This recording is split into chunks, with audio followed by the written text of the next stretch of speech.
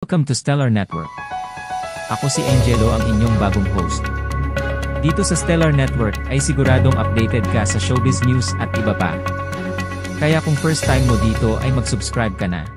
Ang pagganap ni na Kim Chiu at Paulo Avellino sa eksena kung saan sinita ni BMC si Secretary Kim sa What's Wrong with Secretary Kim Peach ay talagang nakakabilib. Sa naturang eksena, naipakita nila ang tamang damdamin at tensyon sa kanilang karakter, na nagbigay hustisya sa mga pangunahing emosyon ng eksena. Ang kanilang husay sa pag-arte ay nagdulot ng mas malalim na pag-unawa sa konsepto ng eksena, nagpalakas sa kwento ng palabas. Ipinakita nila ang kanilang husay sa pagganap, na nagpamalas ng kahalagahan ng tamang emosyon at ekspresyon sa pag-arte. Sa pamamagitan ng kanilang magaling na pagganap, nadagdagan ang pagiging immersive ng palabas para sa mga manonood, na nagbibigay daan para sa mas malalim na pagtutok at pakikisimpatiya sa mga karakter at kwento. Talagang isang tagumpay ang kanilang pagtatrabaho sa eksena na ito sa What's Wrong with Secretary Kim Peach. What's Wrong with Secretary Kim Peach ay hindi lamang isang simpleng pagkopya ng orihinal na Korean drama kundi isang adaptasyon na nagtatampok ng mga Pinoy twist at kariktan.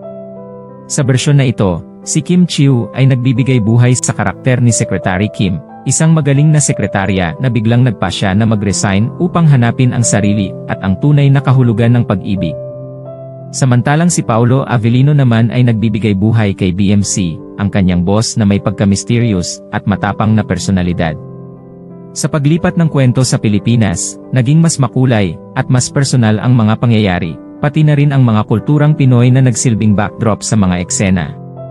Mayroong mga bagong sublot at karakter na idinagdag upang mapalawak ang kwento at magdugtong ng mas maraming emosyon at tensyon sa palabas.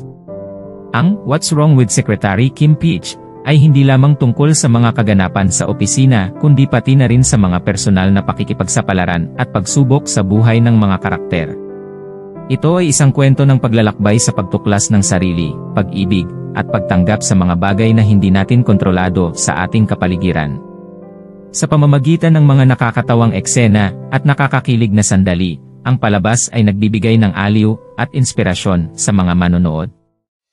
Ano ang masasabi niyo sa issue natin today? This has been Angelo, hanggang sa susunod na balita.